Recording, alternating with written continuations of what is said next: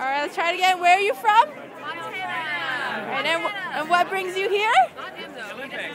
All right. Cool. Anything else? See the torch? Torch. How do you like the torch? USA.